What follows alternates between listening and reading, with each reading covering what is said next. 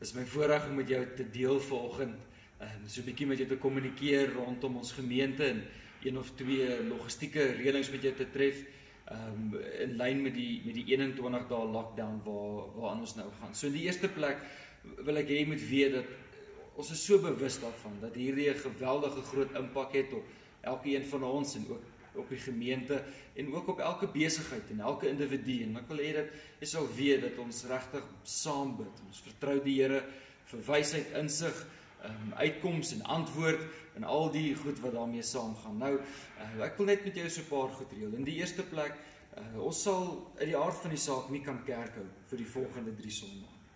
So ons sal nie kerk hou nie, maar ons gaan wel ons dienste uitsaai. So ons gaan ons dienste uitsaai op Facebook sowel as op YouTube. Nou ons gaan dit voor die tyd opneem sodat die beeldkwaliteit goed is en sodat die klank goed is.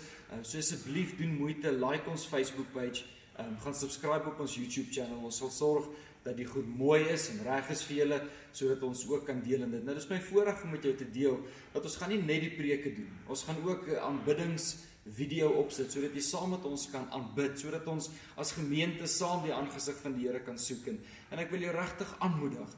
Ehm um, staan op, trek aan.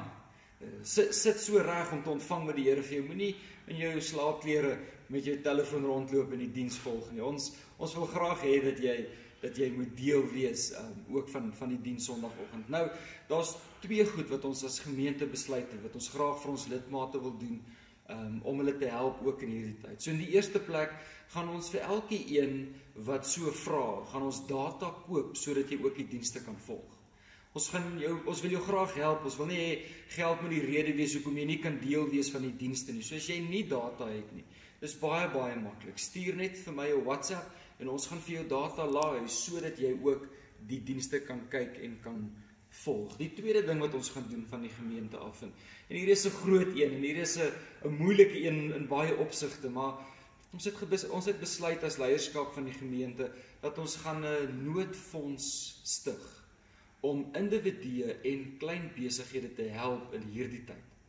Ons wil jou graag help. Ons besef daar's 'n kans dat jy vir die volgende 21 dae geen inkomste gaan hê nie en, en ons wil ons bes doen om jou te help. So al wat jy moet doen Jy kan net 'n e-pos stuur aan ecclesia.standerton@gmail.com.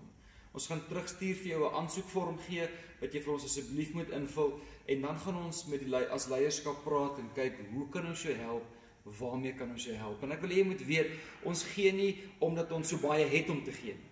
Ons gee omdat ons self so bewus is daarvan dat hierdie is 'n geweldige geweldige uitdagende tyd wat voorlê en en al ons hier gaan deurkom is as ons saam staan. Al ons hier gaan dit gaan maak is is as ons gaan deurdruk. En daarom wil ek jou ook herinner en aanmoedig wanneer die Here vir jou goed is. Wees asseblief getrou ook in jou finansies teenoor die gemeente. As die Here jou seën en jou beskerm in die aard van die saak wanneer ons nie dienste het nie, het ons nie daardie offergawe nie, het ons nie daardie inkomste nie. Wil nie ons asseblief help nie. Ons gaan die bankbesonderhede ook um, in die beskrywing van die video sit. Wil nie asseblief getrou bly in jou tiendes en en jou offergawes nie. En miskien eh, wanneer dit kom by die noodfonds, as jy heeltemal op die ander spektrum, miskien het jy nie die noodfonds nodig nie, maar miskien seën die Here jou en voel jy jy wil graag bydra tot hierdie fonds. Dan wil ek jou vra, jy kan geld in die kerk se rekening inbetaal. Verwysing net noodfonds. En ons gaan daai finansies aanwend om mense te help wat uh, deur moeilike tyd gaan ook in hierdie 21 dae. En dan wil ek jou los en ek wil jou net herinner, mag mag die vrede van ons Here Jesus jou deel wees. Mag ons vrede vind in die feit dat hy God is en mag ons aanhou om vir mekaar te bid. Mag ons genuen hierdie volgende 21 dae verdieping in ons verhouding met die Here hê. Mag dit 'n tyd van verkoeking wees en mag dit ook uh, mag ons die beste maak van hierdie van hierdie situasie.